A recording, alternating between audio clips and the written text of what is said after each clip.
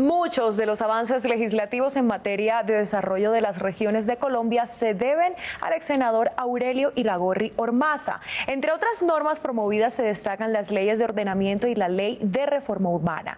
Por su valiosa tarea de varias décadas en el Congreso, el recinto de la Comisión de Ordenamiento Territorial ahora lleva el nombre del dirigente caucano.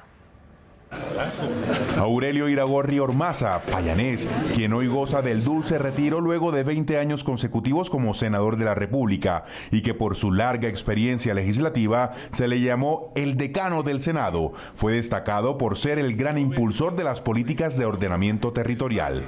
Toda esa huella y todo ese trabajo se, lo tenemos... Eh, ganado por la impronta, por el sendero, senador Aurelio. La ley de regiones, las regiones administrativas de planeación más conocidas como RAP, la ley de reforma urbana, todo un paquete de normas que benefician especialmente a la provincia, hoy es una realidad que comenzó bajo la batuta de Iragorri Ormaza. Los municipios requieren estar programados.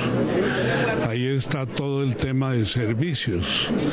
De manera que ese fue realmente, o esa fue realmente la inspiración que yo tuve para hacer ese trabajo.